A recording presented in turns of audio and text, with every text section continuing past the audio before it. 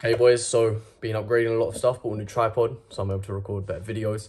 Um, it was just a thing on my side where it sucked, it kept moving and blah, blah, blah. So, just uploaded a video today talking about lead generation and what I'm doing for my ads.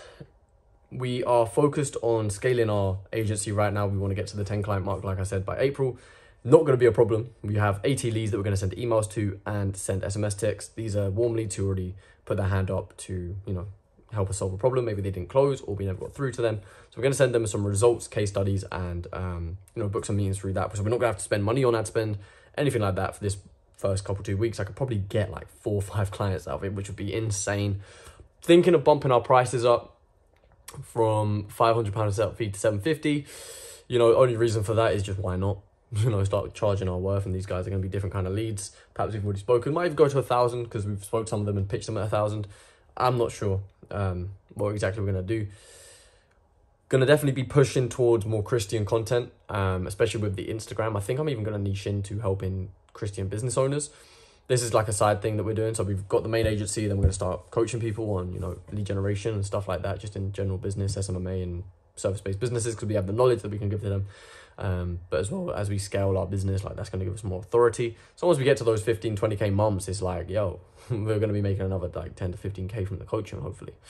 Um, and just add that revenue. It's not much extra work. It is extra work, but like I enjoy the work, so I just want to fill my time up and work and provide as much value as I can. I'm really enjoying the process. Gonna definitely start working on a course. I know they have a bad rep, but it's just like something to add to the program, the coaching program. So when I'm not on the calls with them, they have some content to watch whether it's how to launch an ad, how to edit an ad, how to do X, Y, Z. You know, it's just good videos, good content that is specifically made to launch ads, which I might not put on YouTube because they're just more like tutorial videos for my clients. Okay.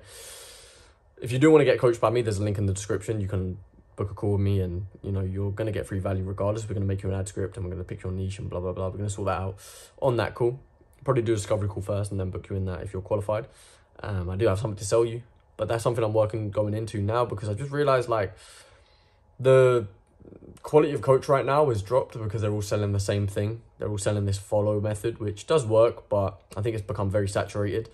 I don't think the the market really likes it as much as it used to. Um, because everyone's doing it, visit profile. And I think it's funny enough to sign clients through Instagram. I'm probably going to do that. I'm going to build an audience, but I'm not selling that framework. I'm selling lead generation. So what works for me as a coach won't work for you as an agency as well. Um, and you don't have to like spend hours making content. I enjoy making the content, but I'll be real. I would not enjoy making content for home improvement businesses. Just straight up, I did not want to do that. So lead generation just works for us.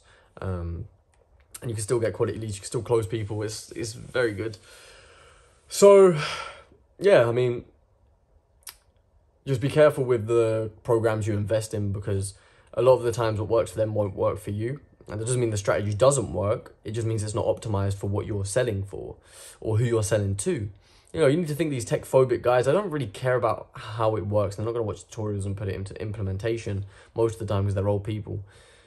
They just want to get it done. Done for you is probably the better way to sell to just brick and mortar businesses. And then for agencies, coaching is just very leveraged and does a lot better because, like, I mean, the agency owner does a lot of work anyway. So it's kind of just fits in better with them. And I feel like when you're doing a visit profile ad and then trying to sell them on the retargeting or DMing them or however you do it, which again is time time consuming anyway. Um, you know, them tutorial videos are actually valuable, but to a you know home improvement business, they're not really valuable as much. And we have our lead generation sorted, so we're just gonna teach other people how to do it. We got a call um with an agency owner we're friends with. He's in the med spa industry. He's got six clients making around three k revenue a month. Um, we're gonna have a conversation with him. We're gonna find out what he's doing. So again, just sharpening my tool, sharpening my axe, and you know, learning the ins and outs of our agencies. What is he doing better than us? What are we doing better than him? And what can we learn from him? That's really what I'm going in the call for. Provide value and you know bring it back here. You know, if I learn anything, we'll come and talk talk about it on here. So yeah, I mean, just a little update. Um, this isn't a crazy video. I just thought I'd get another video out. I did miss yesterday, so with the goals, I've missed two days, but I've make up for it. I did record two Instagram videos, but one I might not put out because it's a deep video and I want it to be edited well. I didn't like the backdrop. So gonna definitely re-record that. It's about when Jesus revealed himself revealed himself as God. That was a voice crack. Revealed himself as God. Um, you know, said he was I am, and then when Moses revealed himself, sorry, God revealed himself to Moses and told him that he is who he is, like I am who I am. Tell him I am sent you. So yeah, I wanted to put that video out. It's a deep video. I was nervous making it because, you know, you know, it's a deep, it's a deep, deep video. It's the truth, so it has to be put out. Um, it's just how it is, you know. Holy Bible. But yeah, I mean, it's been a great day today. Got a lot of work done. Definitely be working on the business. We're not taking any sales calls. I've kind of been enjoying the relaxing times I've had. Still putting in work, of course, staying disciplined and eating healthy. Um, I've actually injured my hand, so I can't even go boxing right now. So I'm just letting it rest for like one or two days. I'm gonna be back at boxing tomorrow if it feels better because it genuinely hurts. Um, both hands, like my thumb and my wrist. So I'm just giving that a few days to rest. If not, I'll be back Thursday, 100%. Um, and then Saturday sparring. I really want to get some sparring rounds in. Maybe I could do a breakdown my sparring, but I don't want to like put my sparring partners online. You know, it kind of feels unfair to them, but I really want to break down my sparring. Maybe I could do an old one. I don't even talk to the guy. I don't think he even knows who I am. This is an old video, so I could probably break that down. I don't know if I want to do the newest video, just out of respect for my people, you know. But um, yeah, update. Let's get it.